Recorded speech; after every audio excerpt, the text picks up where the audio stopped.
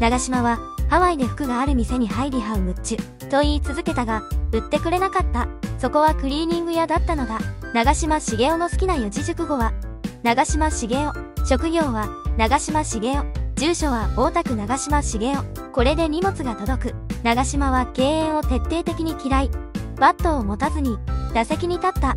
長島宅に強盗が入った際セコムを切っており、その後セコムの株が大暴落した。長島は解説者として試合に招かれた際に、実況からこの後の試合展開はどう予想しますかという問いに対し、この試合は1点でも取った方が勝ちでしょうねと回答。